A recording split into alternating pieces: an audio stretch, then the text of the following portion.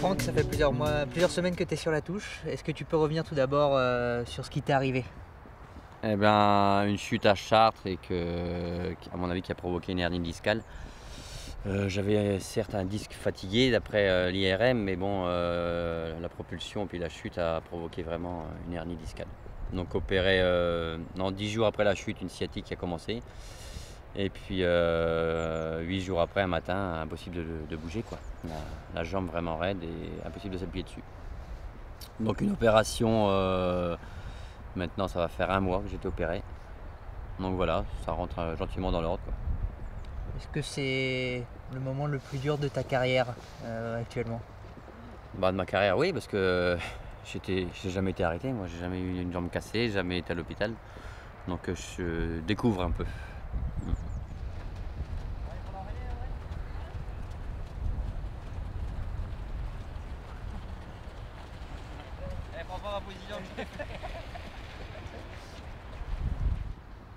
Maintenant, euh, on voit que tu vas mieux quand même, tu, es, sur jambes. Euh, comment ça se passe là actuellement pour toi Où est-ce que tu en es euh, pour revenir à la compétition bah, Le retour, je ne sais pas vraiment. J'ai rendez-vous le 2 juin avec le professeur Nathan. Mais bon, ce qu'il m'a absolument dit, c'est qu'il faut que je refasse du disque.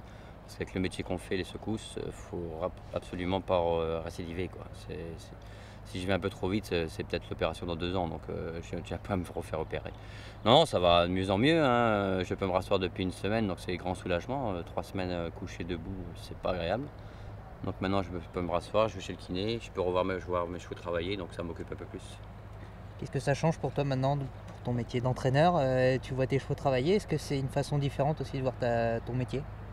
Je vois tout le monde travailler, ça, change un peu, ça m'apprend autre chose. J'essaie de regarder pour apprendre.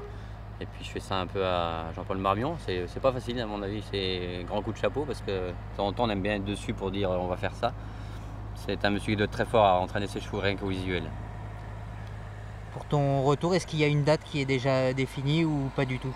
Non, je me suis vraiment rien mis dans la tête parce que je fais un peu le dos rond et je sais qu'ils vont euh, éviter que je reprenne trop vite. Donc euh, non, non, je me suis mis ça dans la tête. Si vraiment je suis pas à 15 jours près, euh, j'ai encore 30 ans à courir c'est pas 15 jour qu'ils vont me faire perdre euh, une course.